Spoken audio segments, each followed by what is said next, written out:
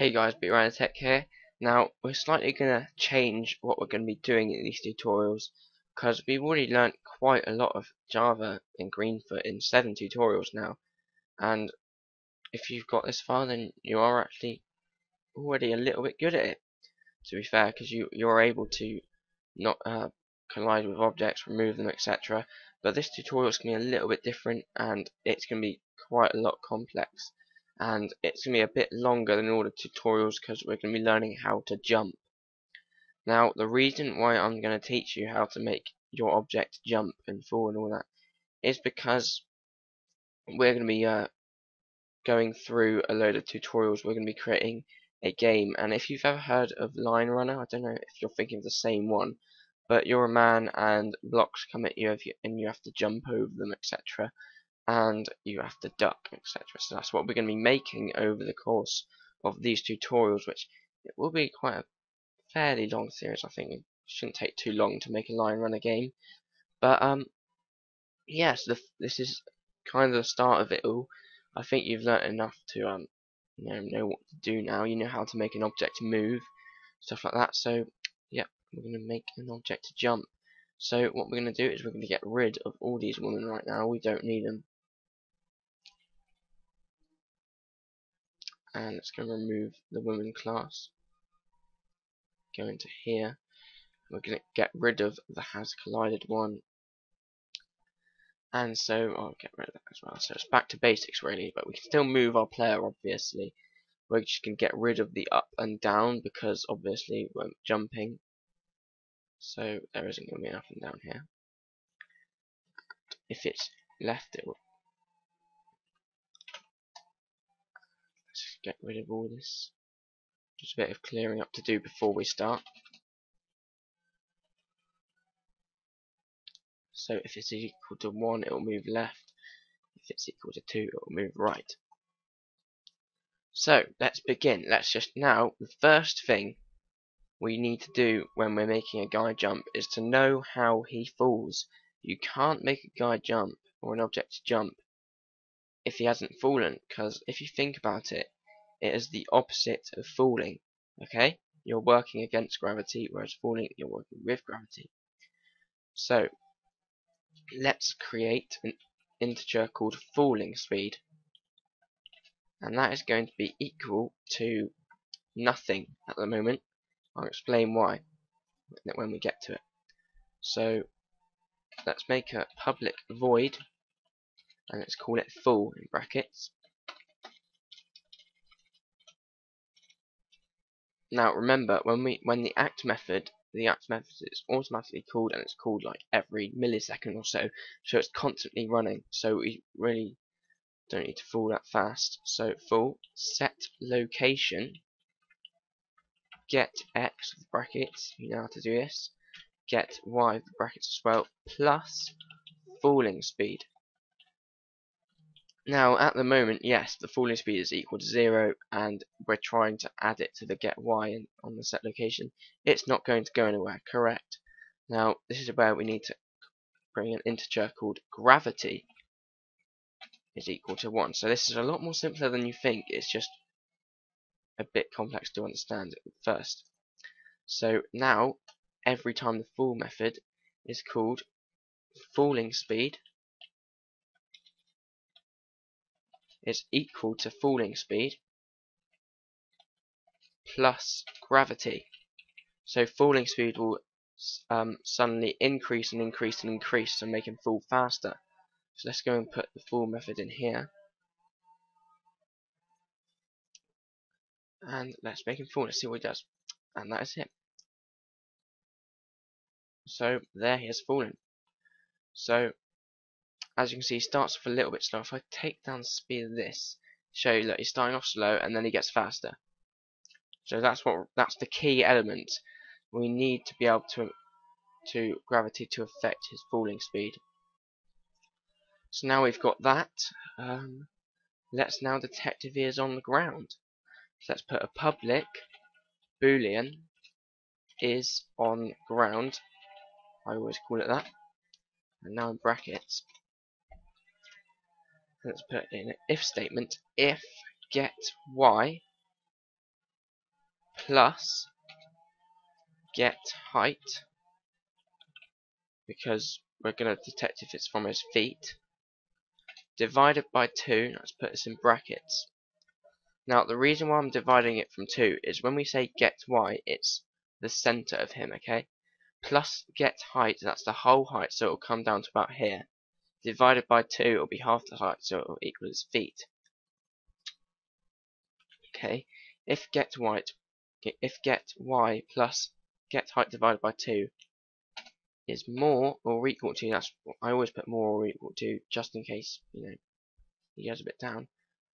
Now we need, actually, while we're doing this if statement, let's go and access the world.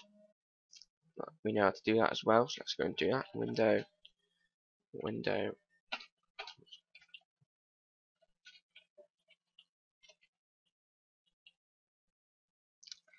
So now we've accessed the world class, let's go and use it. So if get y plus get height divided by 2 is equal to window dot get height minus 1. Again, we can't equal 400, okay?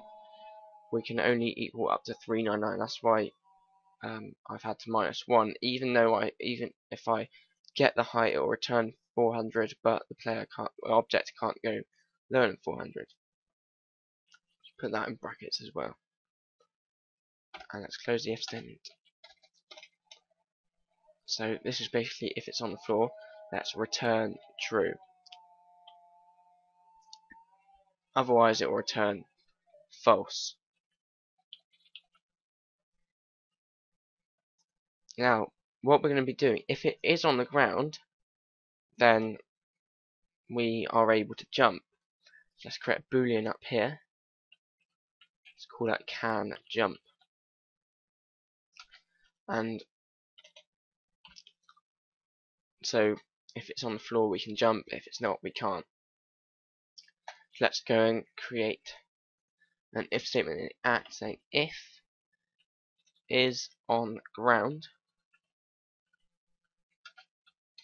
then can jump is equal to true. Otherwise, can jump is, we don't need two equals there. Can jump is equal to false and we fall. So we don't want to fall if we're on ground. So take out that and put it in there.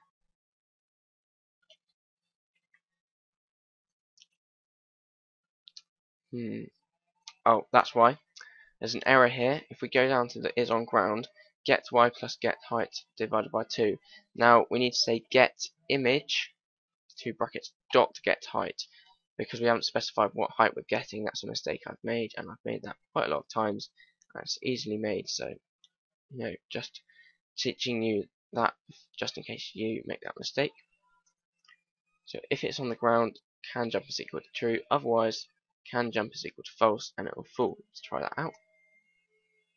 There we go, it stopped when it's hit the ground. Um, so, yep, so if it's can jump is equal to true. Now let's add, now we want to allow the player to jump when the spacebar is pressed. So int user input else if greenfoot dot is key down brackets space and close the if statement in brackets. Let's return three.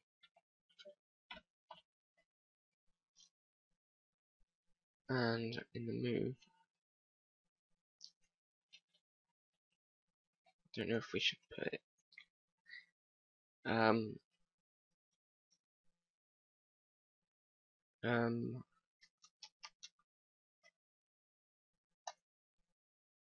let's put in here. So if what's the method called? User input user underscore input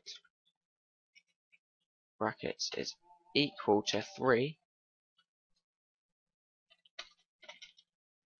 then we want to call the jump method. Now we haven't created that, so let's go and do that now. I'm going to do that underneath the fall. Actually, no, I'm going to do that above it.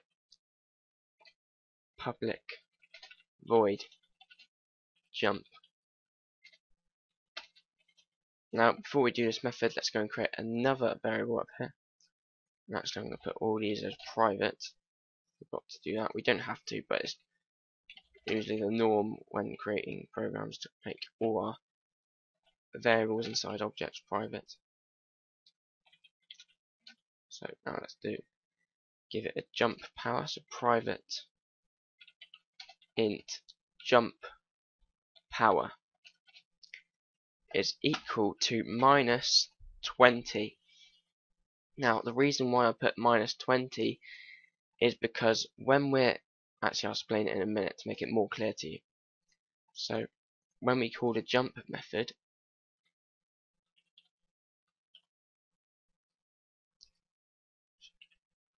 put that let's just put that down there.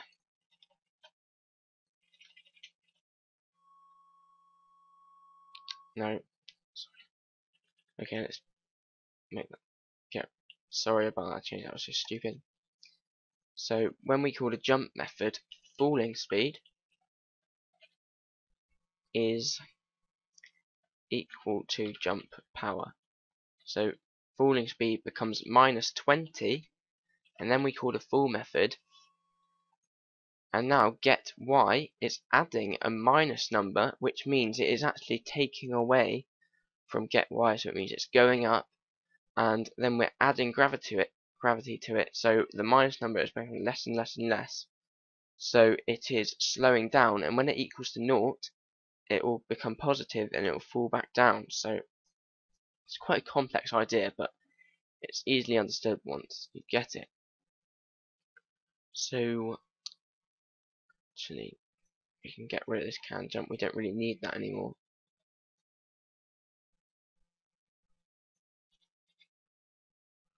Compile that.